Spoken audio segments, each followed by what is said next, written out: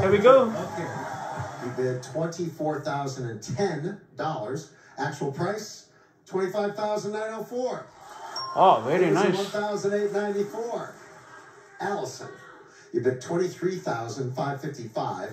Actual price is twenty-four thousand six ninety-six. Difference of one thousand. Oh, another card lost. Oh, Kurt Hatsbreaker, uh, man.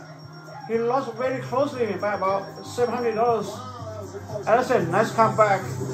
So today we have two card losses, man. So what we have four card wins, now eight card losses, man. Alright. See you in three hours for all new. Let's make a deal. Don't forget tonight, regular Jeopardy and a family feud, right? We're slow them, but we could use a break, I guess.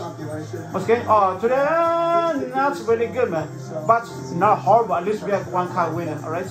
Thank you for watching. Have a good day. Stay safe. Bye.